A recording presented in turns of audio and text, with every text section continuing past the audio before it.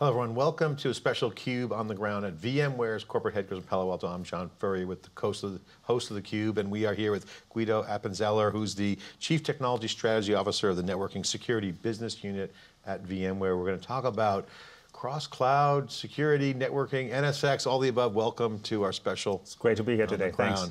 Uh, we had great conversations with a lot of the uh, folks here today at the special uh, CUBE on the ground uh, at VMware. But one of the things that's coming up over and over again is the same theme we've been hearing over again. The Amazon Web Services relationship deal that Andy Jassy and Pat Gelsinger highlights, puts the public light on your cloud strategy, which has been kind of in motion with cross-cloud uh, for a while, the IBM deal earlier. But also at VMworld, Pat Gelsinger was highlighting a lot of the success of NSX.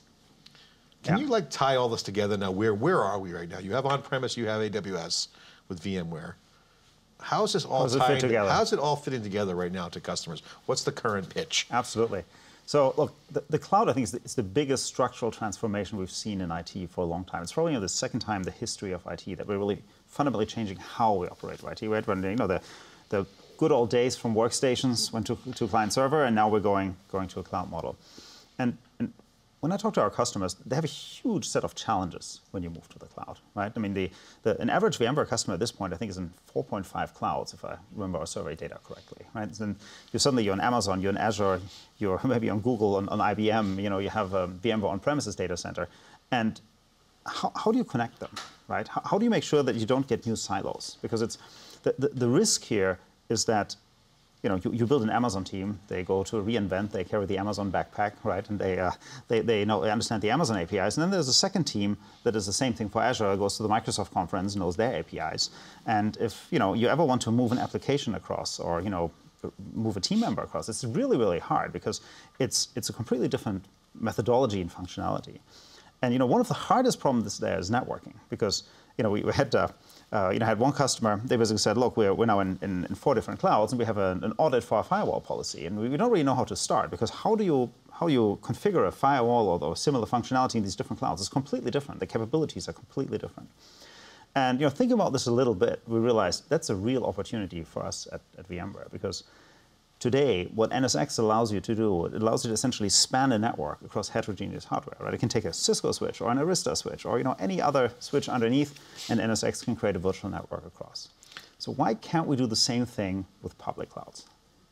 Well, why can't you? It's so hard, isn't it? I mean, it's hard. People, uh, I haven't heard one person said, I'm moving workloads between Azure, Google, and uh, AWS. I haven't heard one person. So moving them is hard and it's primarily hard because, because of the services. Right? If, if you're just going in Amazon, um, many companies, they want to use the Amazon services. They have great services, you know, like their, their databases, their message queues, and so on.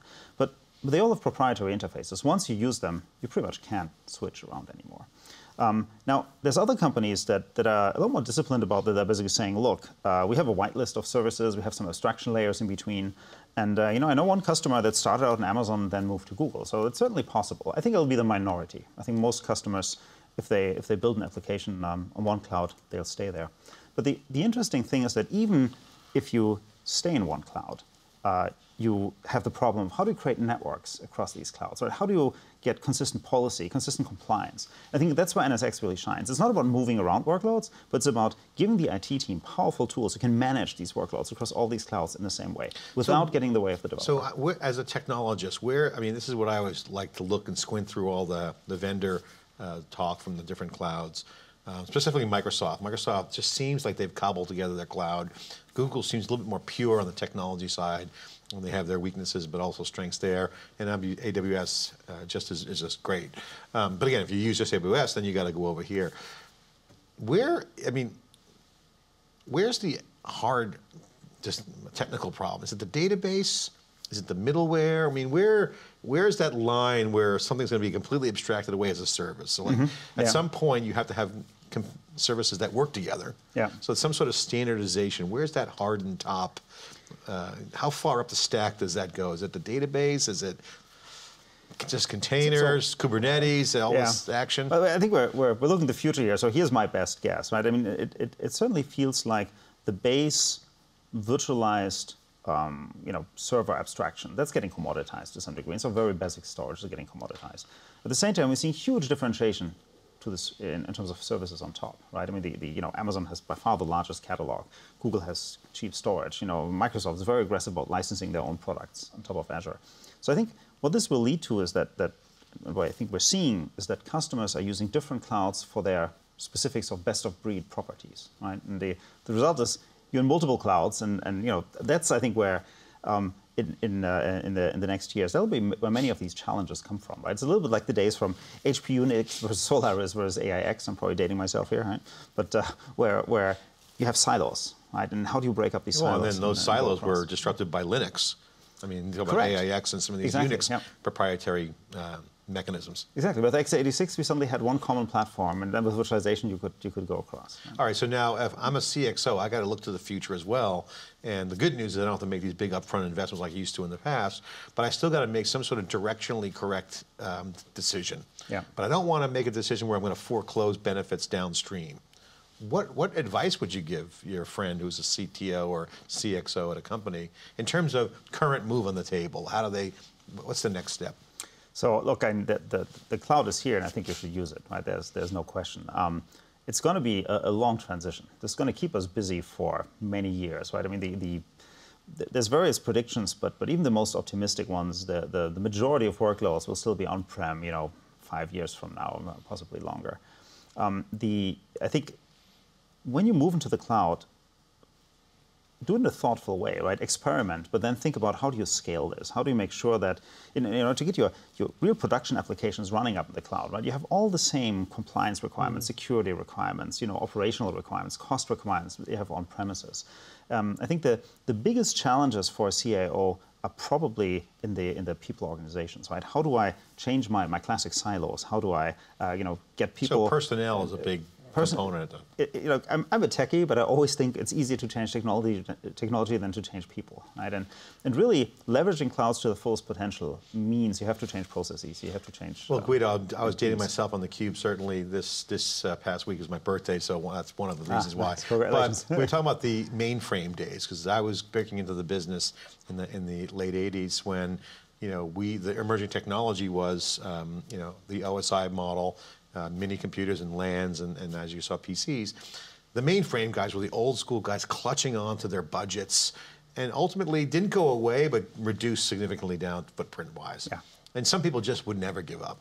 Correct. And some people yeah. were smart and said, Still hey, yeah. I better get on the this networking protocol bandwagon. I'm not just going to use SNA for your IBM or DECnet if you were DEC. You got on to TCP IP, which then the rest is history. Yeah. We're in kind of a similar shift. What, I think it's true, yeah. What, what if TCP/IP was a disruptive enabler yeah. back then, what's the disruptive enabler today from your, your mind? Is there one? That's a great question. Containers? I, I don't see containers a little bit. I mean, the, the big difference, I think, between TCP is that TCP just connected existing infrastructure, while containers is really an infrastructure to build a different type of application. Right? The hard part about containers is not that uh, uh, you know, it's, it's, it's difficult to learn. It's not, right? They're, they're very easy to learn. It's that to, uh, uh, you know, if you have a classic high availability on-premises app and you want to move it to containers, you probably have to change your app, right? You have to get away from a high availability model more to a distributed model, you know, that's more fault tolerant. So you have to retrain your people to build applications in a different way. Well, I guess the question that I'm, you know, just kind of riffing out loud with you on this one is a good conversation is that, okay, I just don't want to get locked in. I'm Correct. a customer. Because yeah you don't want to get locked into. Back then, the networking protocol was the lock-in spec. Yeah. So I'm trying to kind of tease out how do I get the maximum choice, but yet the flexibility to do multiple clouds? Because yeah. if I want to switch from Amazon to Azure or Azure to Amazon or vice versa, I want to be able to do that pretty quickly. So if, if I mean, so first of all, I'm, I'm not sure. There's two philosophies there, right? If you want to be able to switch between clouds, then yes, I would containerize things as much as I can, right? I would um, use abstraction layers for services as much as I can, right? If you do all these things, you're leaving a fair amount of functionality on the table, though, right? I mean, it's like, you know, you, the other approach I've seen is that people are saying, look, I'm going to go to Google because I want to use Google Translate for this application. And I'm going to go to Amazon because I like their you know, next generation uh, relational database. Uh, or know, IBM because they got Watson. Uh, IBM, they got Watson, exactly, right? Maybe Google uh, cheap storage or something like that. Right? I mean, there's, there's of best of breed um, applications. Um, and if you do that, right, uh, uh, then then you sort of, so it's it's as much about how do you connect as it is about. So APIs or tokens or whatever mechanism. So if I take that example, Google Translate, Yeah. IBM Bluemix, that's Yeah. clearly the differentiation that they're doing. correct. So now, how do I connect in? So, I mean, I think you're going to place at least some of your compute resources in each of these clouds, right? I think uh, if uh, if I talk to customers, the, the every customer tells me they want to be in more than one cloud, right? It's a very consistent message, and uh, you know, my prediction is a typical large enterprise in the future will be in five or six clouds. Um, because it's best of breed, because you know once you're in, it's hard, Their hard to switch. differentiation right? is unique to what they need. the differentiation. And, and, and once you're once you're in there, once you start using Google Translate, it's hard to switch, right? Yeah. It's, it's it's hard, hard to get. get All right, so here's the tough question on that one. So let's just take that forward. So you're you've got a customer that wants to be in multiple clouds. Makes total Yeah. sense to me. Now, where's the data? Where's the data set? Because now with real-time mobility, we just had Yeah. the uh, end-user computing guys on. Great. Now I got to go get the data from Azure. Is there a latency? So then then it comes up the whole data architecture. Yeah. Is that where the whole NSX thing comes in? Where's Uh, that? it, it does. I mean, the, the, I think the short answer is look, moving data is much harder than moving code in, in the age of cloud. Right? So the data is probably going to sit where it was close to where it was generated, or you know, it's created. You have all your your click stream from online advertising. It's probably going to sit in a Google server because that's where you know it's easiest to get it from you know from your AdWords uh, um, account. And, uh, and so you do some processing there, and maybe your, your customer database is still sitting on-prem, you know, and you have your you have some, some web-facing app on, on Amazon. I- again, it comes back to how do you connect these, right? The, Yeah. And it's if you look at what, what's How do they connect? How, how does a customer connect them today? today, Yeah. What's the today it's mostly VPNs. You know, you have tunnels. I mean, I've, I've talked to customers that have hundreds of tunnels at this point. I think 600 is the, the record I've heard. 600 individually managed tunnels to different different cloud apps. It's a complete nightmare, right, in, in terms of management. Um, so we need we need we need tools to, to structure that in a, in a better way, and that's you know something where we, we think we can help with that. All right, so talk about where VMware is at now. What's your roadmap? And as you look within the organization, as you look at cl- cross cloud, which you can argue that if you believe what we just talked about, there will be a cross cloud architecture. yes, absolutely. Where yes. is the state of the art today? What's shipping? What's available? What's the real? What's kind of future?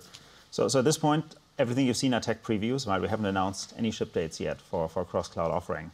Uh, you know, what we've demoed is, uh, is a couple of different products. I mean, you know, we're starting with, with NSX, as you mentioned it. So, so basically, it's, it's a SaaS version of NSX. And, and by the way, there's a similar functionality coming for on-prem version, so you can have either. Um, if you wouldn't install it yourself, you, you can still do that. And basically allows you to stretch networks across clouds. So I can say, you know, I have a couple of workloads in Amazon, a couple of workloads in Azure, they're now on a private network, or, you know, a couple of networks on premises now on a private network.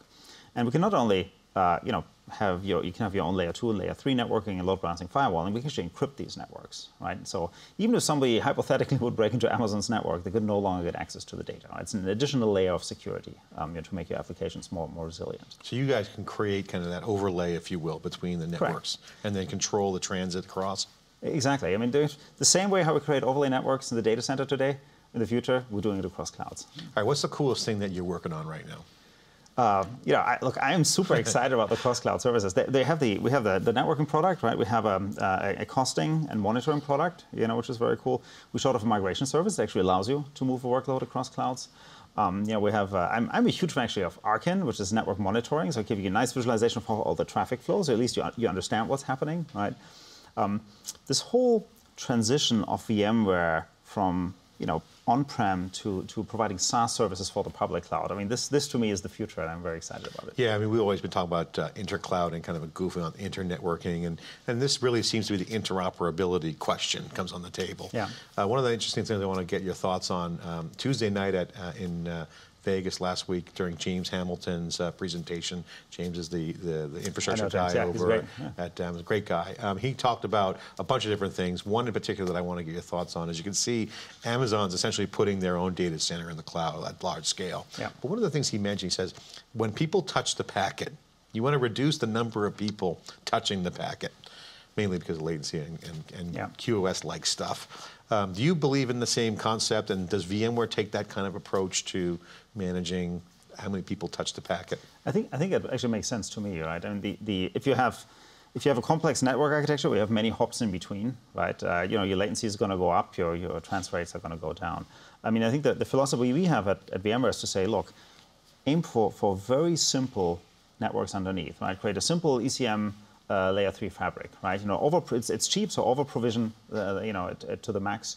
Uh, that gives you low latency, it gives you high throughput, right? And then the only other point where you touch is either in the in the uh, hypervisor or in the in the instance, right? And um, in this one touch point in software, right, you do all your firewalling, load balancing, and so on, right? Un- unless you have, if you have specifics of high security needs, then you may have put a Palo Alto or a five in between. But in many cases, you can just do that sort of on, on the shortest path, right? So I think I think we're, we're aligned there. I think this is the, the architecture of the future. What's your thoughts on the on, on the misconceptions that most people, when you look at the, some of the press articles out there, or just common conventional wisdom around cloud, and what do you see that that people should um, take note of that's either not true or a misconception around the reality of what's happening? I mean, is there anything that jumps Right out now? at you? Yeah, I mean, is whether it's cloud washing Yeah. or some sort of, you know, debunk something? I mean, help us you know, Debunk something. identify something and say Um, that's not true. Look, I- it, it's in, in, in these sort of big transitions, right? it- it- what always happens is that the future is here; it's not equally distributed yet, right? So, so people are on completely different pages in terms of you know to what extent they've embraced it, understand it, and so on, right?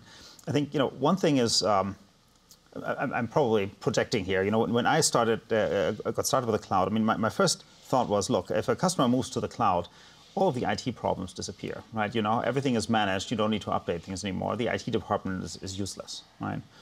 And um, uh, you know, boy, boy, was I wrong, right? You know, once you start to actually people who've run cloud applications at scale, right? I mean, they they still have to worry about security, about Yeah. compliance. You know, they have to manage cost. You know, there's uh, there's legacy apps, right? I mean, nobody's thinking about this right now, but you know, everything is new and shiny. But you know, after a couple of years, an app is in legacy mode, and the IT department will support it, right?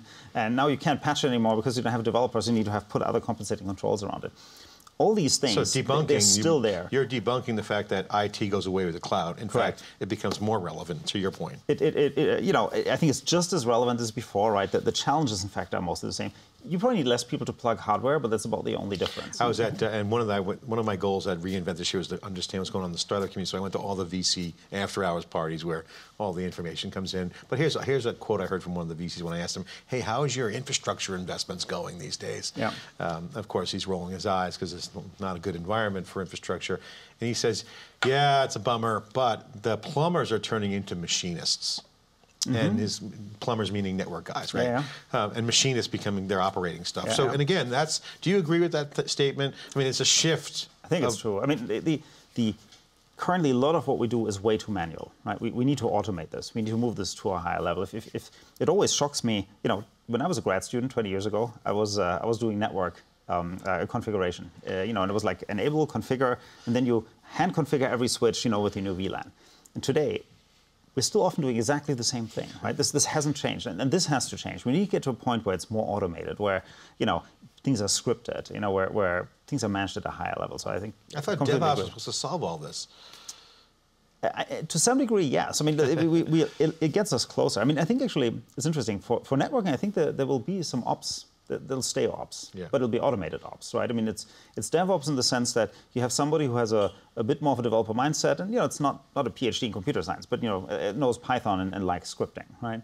And uh, you know, but uh, it's probably I, I don't.